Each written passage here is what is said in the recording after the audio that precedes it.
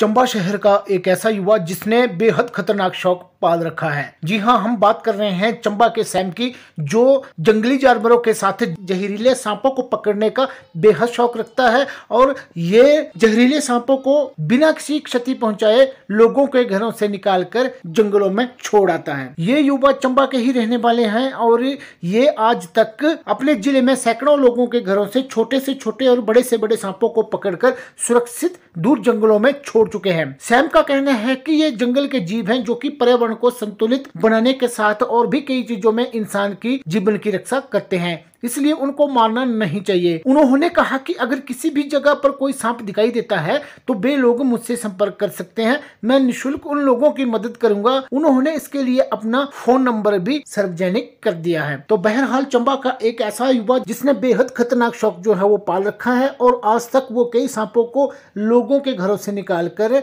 सुरक्षित जंगलों में छोड़ चुके हैं।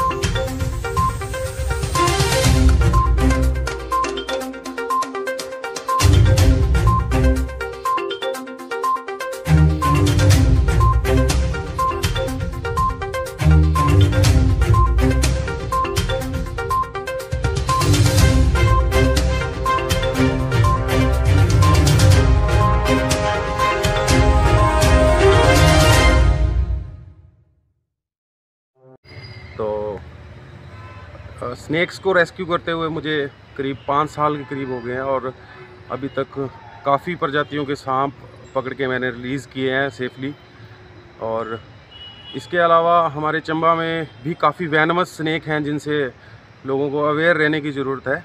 और ये सारी चीज़ें प्रकृति के लिए बनाई गई हैं, प्रकृति के इन्वायरमेंट को स्थिर रखने के लिए बनाई गई हैं। तो इन्हें मारे नहीं, लेकिन वन विभाग में या कोई भी स्थानीय रेस्क्यूर है, जैसे मैं हूँ, मेरा आप नंबर नोट कर सकते हैं, अगर आपके घर के आसपास या कहीं पे भी कोई सांप देखा जाता है तो उसको मारे नहीं, हमें कॉल करें। तो मेरा नंबर है eight two one nine zero double three one five one. इस नंबर पे आप किसी भी समय कॉल कर सकते हैं, और कोई भी स्नैक है, उसकी नॉलेज रखे, लेकिन उसको मारे नहीं। हमारे शहर में जैसा ऐसा है कि कुछ लोग जैसे इस सांप, कोई भी सांप हो, उससे डर के उसको मार देते हैं, चाहे वो जहरीला ना भी हो। लेकिन ये गलती ना करें, क्योंकि ये भी हमारे इन्वायरमेंट के लिए बनी हुई चीज़ें हैं, जो भी प्रकृति से छेड़छाड़ नहीं करनी चाहिए। क्योंकि ये, वैसे भी अभी हम देख रहे हैं कि जंगली इलाका जो है, बोलने का मतलब वो कम हो रहे हैं, लोग, आबादी ज़्यादा हो रही है जगह जगह लोग बनों को काट रहे हैं तो ये जंगली जीव भी हमारे घरों के आसपास दिख जाते हैं तो इनको मारे नहीं, इनको वन विभाग को कॉल करें या रेस्क्यूअर्स को कॉल करें।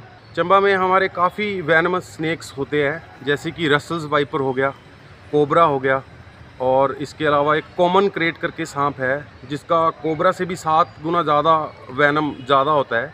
तो हमारे चंबा में वो भी हमने इस बार कोबरा भी रेस्क्यू किया और कॉमन क्रेट भी रेस्क्यू किए हैं। इसके अलावा एक रसल वाइपर है, जिसे हमारी लैंग्वेज में सोतड़ बोलते हैं, सोतड़।